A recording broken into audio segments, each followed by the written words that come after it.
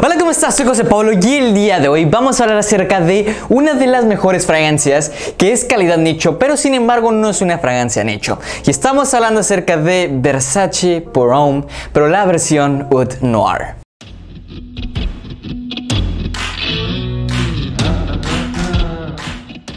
Es de saberse que Versace tiene varias fragancias, ¿ok? Y varias van a tener esta misma botella. Y estamos hablando acerca de la mismísima trilogía, que es Versace Telan Blue, tenemos Versace Pour Homme y tenemos la versión Oud Noir. Todas estas cuentan con la misma silueta de la fragancia, pero lo que va a cambiar, en efecto, es la fragancia. Y esta es una fragancia que la botella, seamos sinceros, es preciosa. Cuando digo que es preciosa es porque lo es. Es una botella transparente, pero se va convirtiendo en color negro. Tenemos el líquido de color amarillo y claro que sí, vas a tener ahí la medusa. Pero eso no es lo que importa. Lo que importa la fragancia claramente va a ser el olor, pero también otra de las cosas principales o más difíciles acerca de esta es el factor de que es una fragancia que es muy difícil de conseguir, ¿ok? Es una de las fragancias más difíciles de, Versace que vas a poder lograr conseguir, pero si logras encontrar una verlatería que sin duda es una fragancia que debes de adquirir. Ya que la salida es muy y muy sencilla, ¿ok? Una de las cosas más sencillas, pero lo que más va a tener predominante, estamos hablando acerca de pimienta negra. Si a ti no te gusta la pimienta negra o eres una de esas personas que con simplemente olerla les, les desagrada el olor, probablemente esta no vaya a ser tu fragancia en específico, ya que no está sola, ya que también contiene notas cítricas. Para ser más específico, contiene naranja amarga. La naranja amarga que contiene aquí está ultra y ultra deliciosa acompañada de neroli para hacer la fragancia un poco más volátil.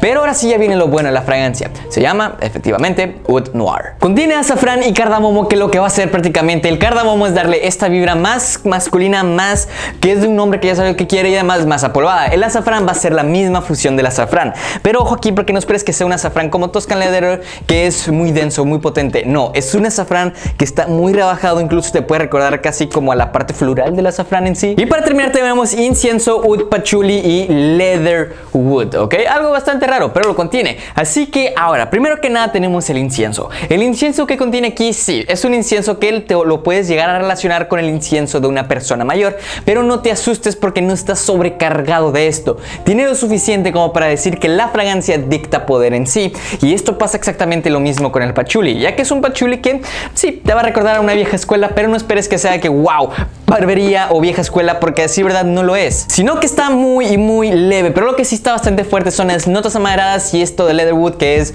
una combinación sintética entre cuero y prácticamente pues maderas que te hacen la fragancia apolvada deliciosa y esta vibrita más o menos de cuero.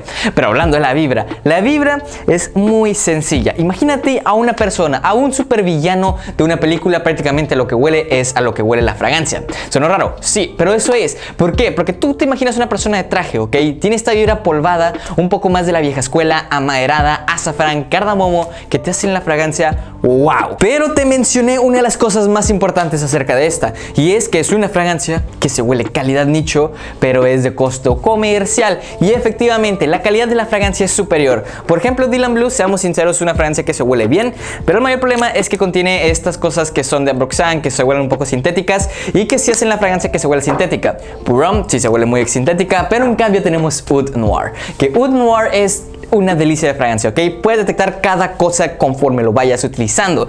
Y hablando de cosas conforme lo vayas utilizando, es una fragancia que va teniendo varias transformaciones conforme lo uses. Ya que, por ejemplo, en la primera hora simplemente vas a ver que no, que puras cosas cítricas y la pimienta y cardamomo y notas amaradas muy por debajo de la mesa. Pero luego ya, pasa una hora, ok, toda la pimienta se fue, lo cítrico Neroli se nos fue del camino y nos dejó con patchouli, wood y esto de leatherwood. Por eso te menciono que es una fragancia que va teniendo muchísimas y muchísimas transformaciones conforme el uso que le vayas dando. Y hablando acerca del uso, eh, la ocasión de la fragancia, no. Eh, mira, primero que nada es una fragancia que te voy a ser sincero, yo la huelo y el público se le queda dirigido, no tiene.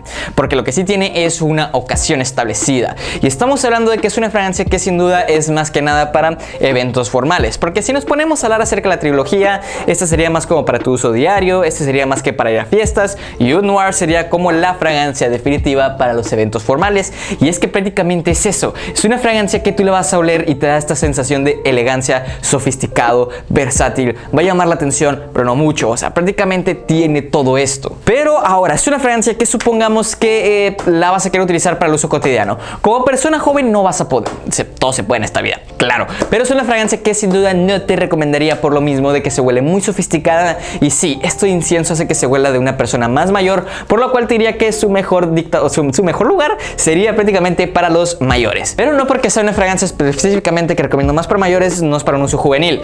¿Por qué? Porque eso es una fragancia que llegué a utilizar en mi graduación y te puedo decir que es un, oh, wow, que se huele muy sofisticado, se huele como que acabas de lograr algo que siempre has querido. Prácticamente es eso, es como la fragancia que vas a poder utilizar el día de tu boda o es una fragancia que en eventos formales 100%.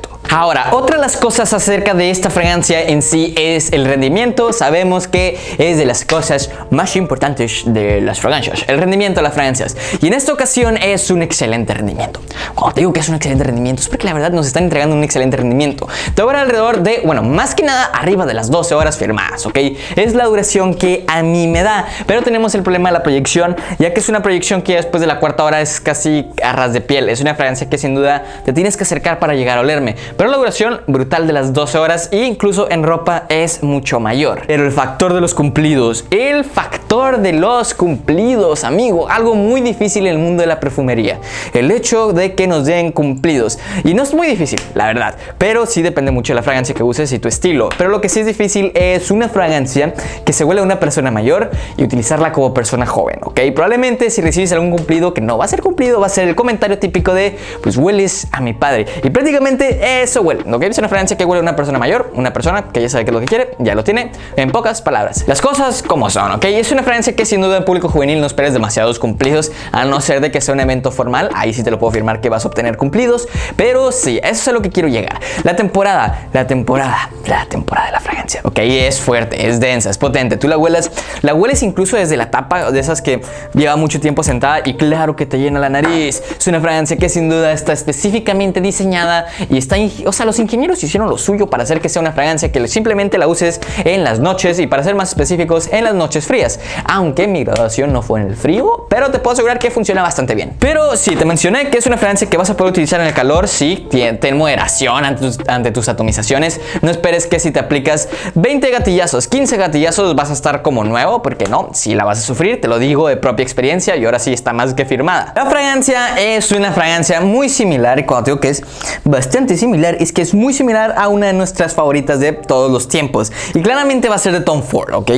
Y esta de Tom Ford es Wood, Wood, ¿ok? Wood, Wood, iba a decir Wood Noir, pero es prácticamente muy y muy similar. ¿Cuál es la mayor diferencia? La mayor diferencia claramente va a ser en la salida, ya que en la salida de estas dos, la versión Wood Noir de Versace contiene nada más y nada menos que estas cosas cítricas. Estas cosas cítricas de Oud Noir es algo que hace la fragancia una delicia, ¿ok? Es, lo que le hace una fragancia más diferente a Oud Wood o incluso a otras fragancias con Oud. Pero es lo que lo hace Oud Noir Oud Noir. En palabras, ¿ok? Las cosas como son. Oud Noir es Oud Noir por esto mismo. Pero en cambio tenemos Oud Wood. Que Oud Wood es una fragancia que desde la salida detectas estas cosas amaderadas, que si es cremosa, que si tiene, su, un poco de todo, ¿ok? Oud Wood es una fragancia que la conocemos bastante y bastante bien y sin embargo no te he hecho una reseña de ella. Pero sí, es una fragancia que se conoce bastante bien y tiene esta vibra más cremosa. Esa sería la mayor diferencia que yo te puedo dar acerca de estas dos. Que la presentación de Oud Wood es mucho más cremosa y es una fragancia que sin duda te recomendaría más para los usos en, en frío, frío 100%, ¿ok? Esta sí va dedicada 100% a esto. Pero en cambio tenemos la versión Oud Noir. Que la versión Oud Noir, esta de cosas cítricas, no estoy diciendo que es una fragancia para, los, para específicamente los días calurosos, pero nos permite un poquito más hacer eso. Pero si hablamos acerca de una de las cosas más importantes, estamos hablando acerca de la calidad de las fragancias. La calidad de la fragancia claramente se la lleva Wood Wood, porque es una fragancia que a pesar de que sí tiene, o sea, un costo más elevado, también huele de una mejor calidad. Y esto me lleva otra vez al momento del secado de la fragancia. El momento del secado de la fragancia ya son muy iguales. Cuando te digo que son muy iguales, son muy iguales. La mayor diferencia es que en Oud Noir sí tenemos estas cositas que son un poco más sintéticas, que nos van a recordar más a que es una fragancia de Versace. Pero de ahí en fuera no hay muchísimo cambio. Así que pues, eso es cierto por que ha gustado. Yo soy José Pablo. Recuerda darle like, like. Y ya tú sabes que no me agüito. Sí, en Facebook, Instagram, TikTok y en mi otro canal que es en inglés. Así que pues, hay una que, ahí nos vemos.